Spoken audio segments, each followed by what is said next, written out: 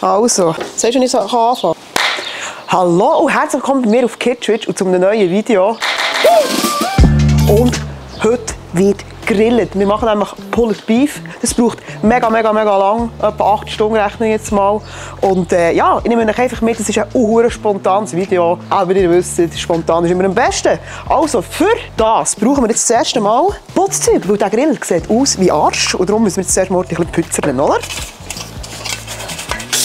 Jetzt nehme ich hier mal einen Rohstrauß. Dann, ta Nein, muss ich da hier die Kohle so preparen, dass man dann richtig geil grillen kann. Man merkt es ja, Huren an. gut, was mache ich jetzt? Huren nervig. Also gut, ich habe alles geputzt. Sehr vorbildlich. Und muss jetzt Kohle nachfüllen. Frische. Das gar nicht. So, dann zünde ich das hier an. Jetzt müssen wir das hier mal brennen, weil wir das Eck auf Temperatur müssen bringen etwa ja, so 100 Grad, würde ich sagen. Also, warten wir mal eine Runde. So, und während das Eck ähm, aufheiten ist, haben wir jetzt ein wunderbares, wunderschönes Stückchen Rinder. Schulter. ah, es ist so herrlich. 2,5 Kilo.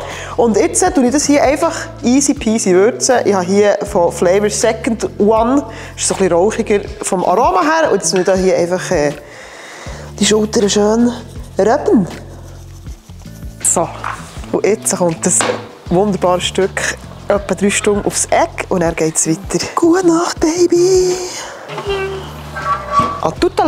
Das ganze Baby haben wir jetzt etwa drei Stunden im Big Green Egg gegart.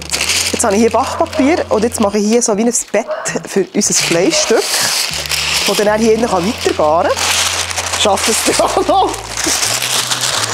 Ah, so. Mal die erste Lage. Jetzt muss ich auch ein bisschen beschweren. Das mache ich mit dem Fond hier. So.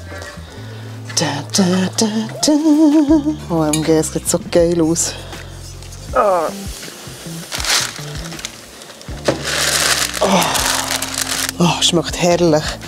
Ich tue jetzt von dieser Brühe drüber, dass es dann wirklich in diesem Päckchen innen kann schmoren und schön Feuchtigkeit bekommt, so dass man es dann am Schluss richtig schön pullen kann. Und jetzt tut man das zu.